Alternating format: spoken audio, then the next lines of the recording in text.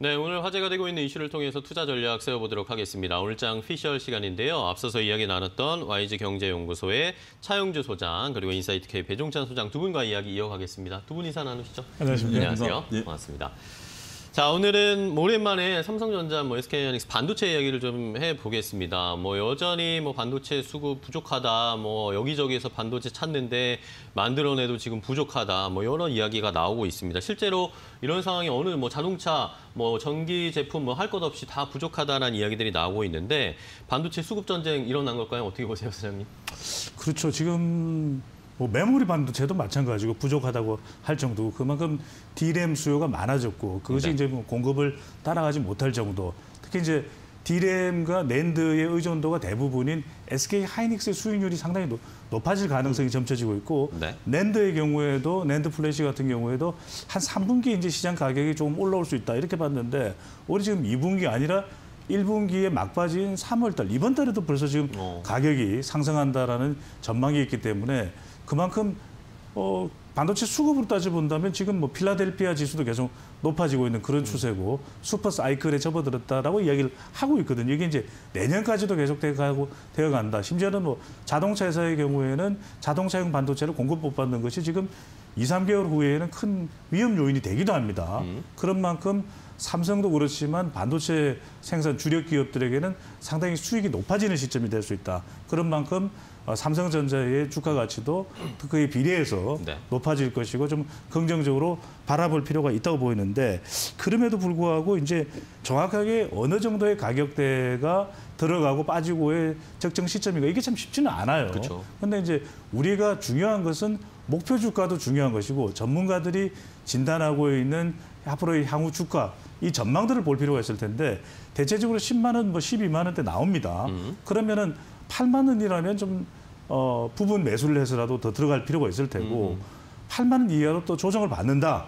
이럴 때는 좀 더 적극적으로 들어갈 필요가 있지 않겠냐. 또 하나 이제 주목하는 것은 삼성전자는 가전도 있단 말이에요. 네네. 이 가전이 미국의 경우에는 지금 이 지급 시점이 어, 빠르면 이제 4월 달이 될 걸로 보이는데 1인당 1,400불을 아, 지급할 예, 그렇죠. 그런 계획이 잡혀 있습니다. 이렇게 되면 뭐 베스트 바이에 가서 또 전자제품 사면 또 삼성 사요. 네. 그러니까 이런 것까지 어, 감안한다면 삼성전자 주가는 상당히 긍정적일 가능성이 높다. 물론 이제 수급에 따른 조정은 있겠죠. 네. 하지만 어, 이런 외부 요인들을 보더라도 어, 삼성전자의 주가 전망은 좀 긍정적으로 볼 필요가 있겠습니다. 네. 자 말씀해 주신 것처럼 뭐 삼성전자 뭐 최근에 좀 주가는 지지부진하지만 그래도 여전히 뭐 어, 저력이 있고 뭐 앞으로도 또 다가올 수혜들이 있으니까 그걸 지켜보자라고 해주셨지만 일단은 개인 투자자분들이나 최근에 뭐 언론에 보도되는 것들로 봤을 땐 단기적으로는 좀 안 좋은 이슈들이 삼성전자에 좀 계속 좀 나오고는 있습니다. 일단 아까 마- 아까 살짝 이야기했던 어스틴 공장 이야기도 나오고 있고 뭐 주말 사이에도 이런 뉴스도 나왔어요. 뭐 마이크론 테크놀로지에서 176단 낸드 최초 양산을 했는데 이게 삼성전자가 좀 추월당했다, 뺏겼다, 뭐 이런 이야기도 나오면서 아무래도 뭐 삼성전자도 투자를 여기저기 열심히는 하고는 있지만 이런 것들에 대해서 약간 불안감을 가지고 계신 분들도 계신데 차영 조사님은 어떻게 보세요? 어, 결국 뭐 시장에 있어서 삼성전자의 저력을 믿어주느냐라는 부분들이죠. 어, 우리가 이제 삼성전자에 대해서 신반전자를 처음에 얘기했을 때는 어떻게 보면 조금 뭐 농담 반 진담 반뭐 이런 것들이 좀 있었었죠. 네. 어, 그리고 지수가 3천선을 넘어서는 것도 과연 가능하겠는가라는 부분들이었는데 그걸로 이제 우리가 한번 이루어냈다라는 겁니다. 근데 이제 주식 시장에 있어서는 어, 무조건 뭐 올라간다라는 부분들만 본다라고 보기엔 좀 어렵죠. 어, 그렇지만 어, 그렇다고 해서 빠질 만한 요소들을 또 찾아보면 어, 특별히 그런 건 없습니다. 어, 그렇지만 주식이 무조건 사서 놔두면 편안하게 올라가는 건 아니고요. 오르락 내리락 하는 모습들이 분명히 보여집니다. 우리가 지금 현재 삼성전자 차트 여러분들 보고 계십니다만 최근에 10만 전자 찍을 때까지도 굉장히 가파르죠. 굉장히 저걸 사- 그 산을 나타내는 지도라고 본다라면 적이 올라간다라는 건 굉장히 어렵습니다. 그렇죠. 어, 그런 이후에 지금 조정을 받고 있는데 어떻게 보면 횡보 단이죠. 어, 8만 원대에서 지금 중장기적으로 어, 횡보를 하고 있는 상황이기 때문에 크게 걱정할 건 없다. 어, 조제가 있고 악재가 있음에도 불구하고 8만 원을 지킨다는 것은 악재에 상당히 어, 둔하다. 어, 악재가 내성이 생겼다라는 부분들이죠. 어, 그러한 부분들을 우리가 감안해야 되고 저게 만약에 악재에 반응한다면 8만 원이 깨졌어야죠. 어, 그렇다면 어, 삼성전자를 바라보는 시각들이 어, 중장기적으로 조금 어렵다라고 보는데 악재가 나타났음에도 불구하고 호재 단에서도 8만 원대를 지켜줬던 주가가 악재 단에서도 8만 원을 지켜준다라는 것은 어느 정도 시간을 좀 우리가 필요로 하고 있다 이렇게 좀 말씀드릴 수가 있겠습니다. 아, 따라서 삼성전자를 보유하신 분들이 어, 당분간 어, 주식시장에 대한 걱정은 필요 없을 것으로 보여지는데 문제는 이제 필라델피아 반도체 지수를 여러분 꼼꼼히 보셔야 되는 게 변동성이 확대됐다라는 거예요. 그러니까요. 어, 피- 필라델피아 반도체 지수가 오른 오른 내림폭 그러니까 올라간다 떨어진다가 아니라 오른 내림폭이 굉장히 커지고 있다라는 겁니다. 어, 이런 것들이 저는 조금 우려될 수도 있다. 아, 결국 기술주들에 대한 어떤 어, 조정들이 좀 있을 것으로 보여지고 있는데 어, 이- 그러니까 미국의 기술주와 국내 기술주가 그러니까 국내 특히 삼성전자는 좀 다르죠. 미국의 기술주가 조정을 받는 다고 해서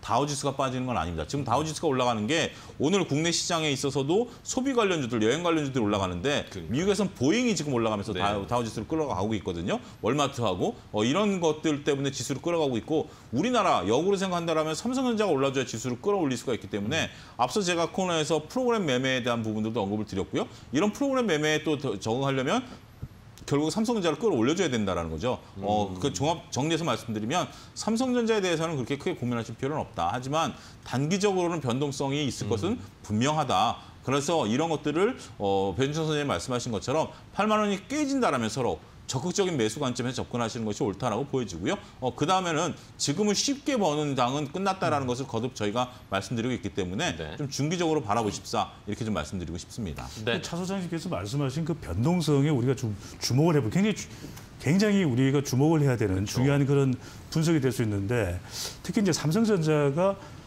이종 부회장이 신경영을 선언하면서 2030년에는 비메모리 반도체 파운드리에서 1위를 한다 그랬었어요. 근데 네네. 지금 이 수요는 많은데 소비는 늘어나는데 공급을 거의 못 따라가고 있습니다. 그러다 그렇습니다. 보니까 TSMC 대만의 이 비메모리 반도체 세계 1위와 더 차이가 나요. 네. 그러니까 TSMC의 경우에는 트럼프 대통령 때 애리조나 공장까지 건설을 했습니다. 그러니까 이 수요 수급을 상당히 따라가는 그런 상황인데 음. 삼성전자의 경우에는 부르는 게 값인 이 파운드리를 제때 생산을 못해서 네. 대만 회사와 미국 회사에까지도 외주를 주는 상황이거든요. 이게 하나 있고 또 하나는 미중 충돌이 될 경우에 화웨이가 가장 큰 타격을 받았지만 이게 삼성전자에게 어떤 영향을 또 줄지 몰라요. 세계적인 기업이기 때문에 또 하나는 이재용 부회장의 이 법적 리스크 이 부분도 사실은 우리가 좀 올해 가장 또 삼성전자에 영향을 줄 수 있는 변수이기 때문에 잘 감안을 해 보시고 투자를 할 필요가 있겠습니다. 네. 자, 외종찬 소장님께서 조금 체크해봐야 될 변수들을 마지막으로 확인을 해주셨고, 어, 배종, 어, 차영주 소장님께 마지막으로 그럼에도 불구하고 삼성전자 실적은 그렇게 나쁘지 않을 것으로 예상이 되죠? 그렇습니다. 삼성전자 실적은 고무적일 것이다라고 보여지고 있기 때문에 온갖 악재를 듣고 일어나서 삼성전자에 대한 실적이 어, 긍정적이다라고 보는 시각들이 있기 때문에 삼성전자는 어, 국내 시장의 바로미터입니다. 그러니까 삼성전자의 본질 가치뿐만이 아니라 국내 시장의 바로미터라는 점을 감안하게 된다면 특별히 어, 고민하실 필요는 없지 않겠는가 아, 정리를 해드릴 수가 있겠습니다. 네. 자, 두 분과 오늘 오랜만에 또 삼성전자 얘기를 해봤습니다. 최근에 뭐 주가가 지지부진하면서 8만 2천 원에서 뭐 천 원대를 왔다 갔다 하고 있는데 이게 뭐 상대적으로 SK 하이닉스가 잘 가니까 삼성전자 뭐 문제 있는 거 아닌가라고 생각하시는 분들도 계시겠지만 아까 우리 차 소장님께서 8만 원대 지키는 게 오히려 그게 좋은 시그널일 수 있다라는 그걸 한번 좀 생각해 보시면 오히려 뭐 삼성전자 아직 못 담으신 분들이 있으시다면 오히려 이게 또 찬스가 될 수도 있다라는 조심스러운 뭐 이야기를 한번 해드리고 마무리해드리도록 하겠습니다. 자 YG경제연구소의 오늘 차영조 소장 그리고 인사이트K 배종찬 소장 두 분과 삼성전자 얘기 나눠봤습니다. 오늘 말씀 감사하고요. 다음 주에 또 뵙도록 하겠습니다. 고맙습니다.